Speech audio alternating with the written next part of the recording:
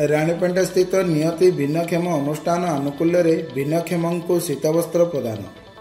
ଗଜପତି ଜିଲ୍ଲା ପାଳାଖେମୁଣ୍ଡି ନିକଟସ୍ଥ ରାଣୀପେଣ୍ଟା ସ୍ଥିତ ନିୟତି ଭିନ୍ନକ୍ଷମ ଅନୁଷ୍ଠାନ ଆନୁକୂଲ୍ୟରେ ଭିନ୍ନକ୍ଷମମାନଙ୍କୁ ଶୀତବସ୍ତ୍ର ପ୍ରଦାନ କରାଯାଇଛି।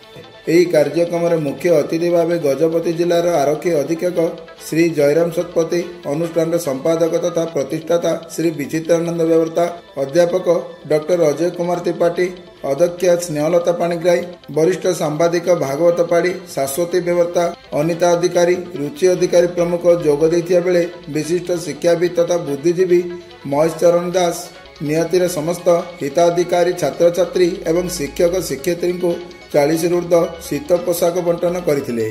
ଏହି କାର୍ଯ୍ୟକ୍ରମକୁ ଅନୁଷ୍ଠାନର ସଦସ୍ୟମାନେ ସଫଳ କରିଥିବା ବେଳେ ଅଧ୍ୟାପକ ସୌଦାଗର ସିଆ ସମସ୍ତଙ୍କୁ ଧନ୍ୟବାଦ ଅର୍ପଣ କରିଥିଲେ।